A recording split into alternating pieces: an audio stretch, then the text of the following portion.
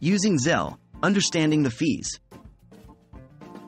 Hello, and welcome to our video today.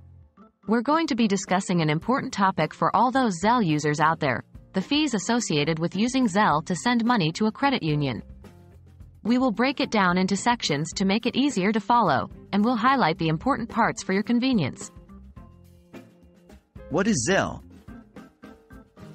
First things first, Zelle is a digital payment network that enables users to send peer-to-peer money transfers via their mobile device or directly through their bank.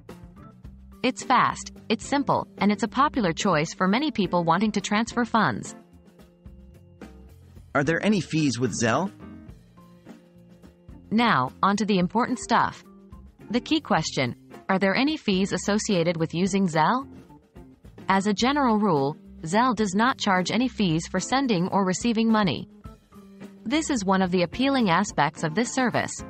But remember, this can vary from bank to bank. Always check with your bank or credit union to understand any potential costs. Are there fees when sending money to a credit union? So what about when you're sending money to a credit union specifically?